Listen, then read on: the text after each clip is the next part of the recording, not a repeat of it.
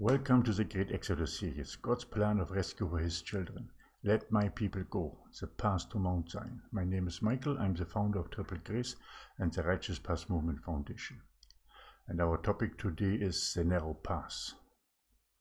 Many people believe that they can find the narrow path in the world, in their normal life, in their worldly desires, like building businesses or following a worldly career.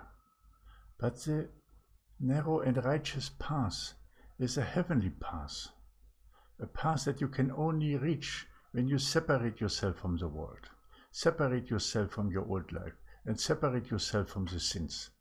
Only when you repent and abide in, abide in the Lord, when you show obedience to His teaching and His commandments, only when you walk that heavenly path, then you are on the narrow and righteous path.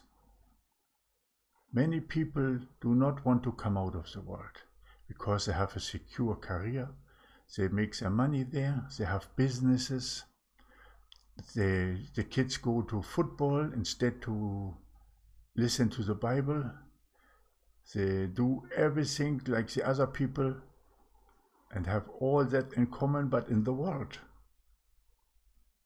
Now, if you are a son of the world, then who is your father? Satan, because Satan is the ruler and king of the world. Until Jesus Christ comes feet down on the Mount of Olives. What is not yet.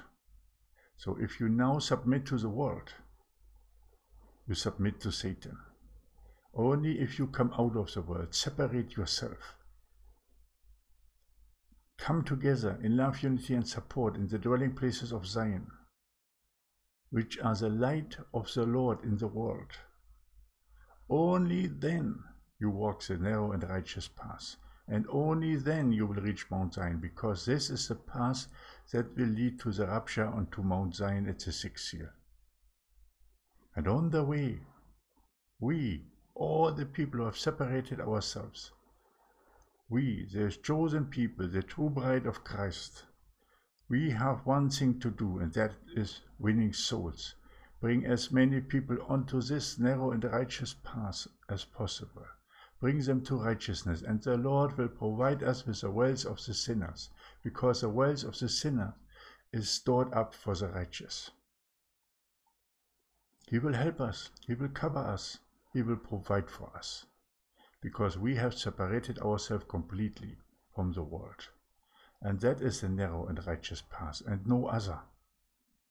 There is no narrow path when you submit to the world, when you still live in the world, when you follow all your stuff, you go to drink, you go to smoke, you you have your businesses, you follow your careers, you sign up for the latest blockbuster, you do everything that the world is asking you to do then you are not on the narrow path.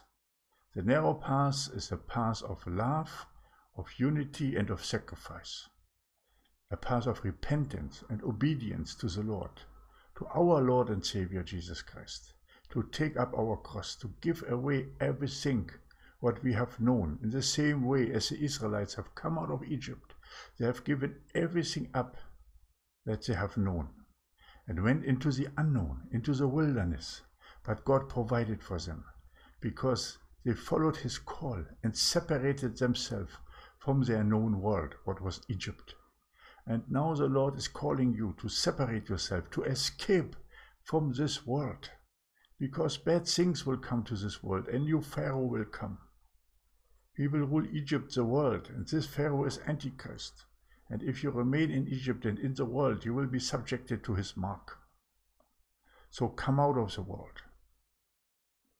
And I'm not only telling you to come out of the world, but I also provide for you a solution through the dwelling places of Zion, a place of safety that the Lord has created, so that you can go there and come together with like minded people who have also separated themselves from the world, so that you can share your resources, come together and support one another and lift up the needy. And by showing forth this great example of love of the Father, You will bring many people to righteousness and win many souls who will also join your dwelling places of Zion.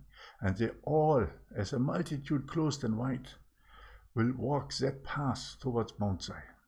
And they will clothe their dirty garments in the blood of the Lamb. Not only by saying, I believe in him, but by obedience to him, by following him, by doing what he has done, by talking as he did, by acting as he did, and by walking as he did, in full faith, in spirit and truth of the Father. People, come away from the wide path and enter the narrow path to your salvation that you will receive at Mount Zion. That's the sixth seal. Now is the time to separate yourself. Now is the time to be strong for the Lord and to stand strong against the enemy, against the Antichrist, against the false prophet, and against Satan. I hope that you have learned something from this topic. If you have any question regarding coming out of the world and out of Babylon, and how to establish dwelling places of Zion, either come to our trainings, training academy that we have, I put in the first pinned comment, or send me an email to triplegrace55 at gmail.com and I will help you to come out of the world.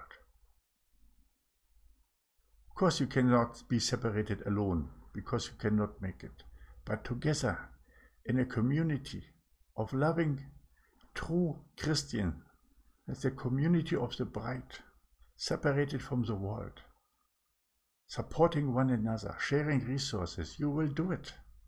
And God will help you. He will provide you not only with the Holy Spirit, knowledge and wisdom, but also with His protection.